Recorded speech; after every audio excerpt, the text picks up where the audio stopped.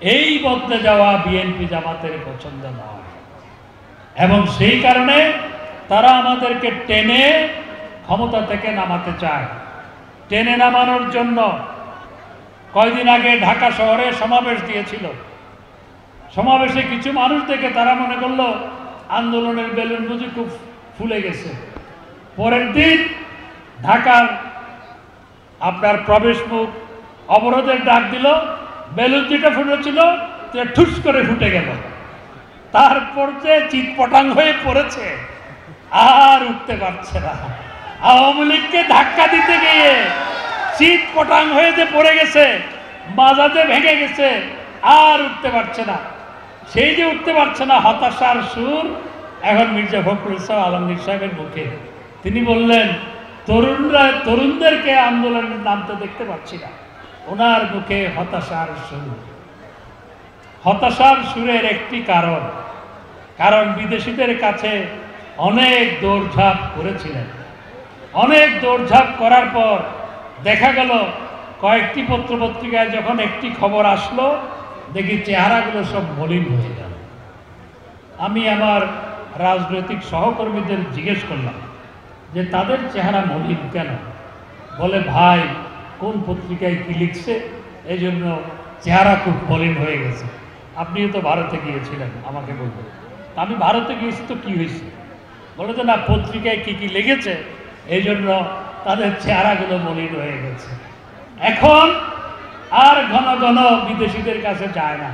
গিয়ে দেখল যে কোনো লাভ হয় নাই।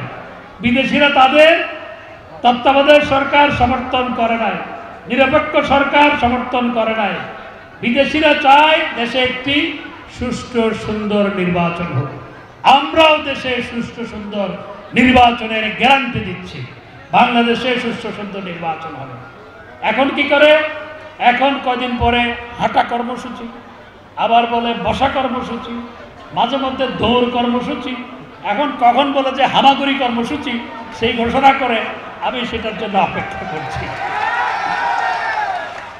আজকে দেখলাম কালো পতাকা মিছিল আপনাদেরকে জনগণ ইতিমধ্যে লাল পতাকা দেখিয়ে দিয়েছে। বিএনপিকে জনগণ ইতিমধ্যে লাল পতাকা দেখিয়ে দিয়েছে।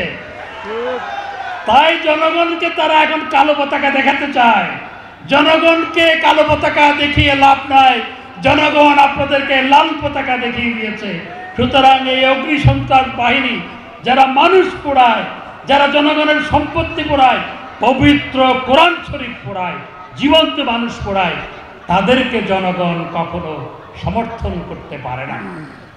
আপনারা মানুষ পোড়াবেন, পবিত্র কোরআন শরীফ পড়াবেন, দেশকে আপনারা সাম্প্রদায়িকভাবে বিভক্ত করবেন, জঙ্গি ধরলে জঙ্গিদের পক্ষ নেবেন, আর কথায় কথায় আপনারা ভারতকে গালাগালি করবেন আর আমরা ভারতের দালাল বলে আমাদেরকে গালাগালি করবেন, তাহলে বিদেশিরা আপনাদেরকে কি কারণে সমর্থন করবে? দেশের মানুষ কি কারণে আপনাদেরকে সমর্থন করবে? দেশের মানুষ আপনাদেরকে সমর্থন করতে পারে না। তাই তাদের মাথা খারাপ হয়ে গেছে।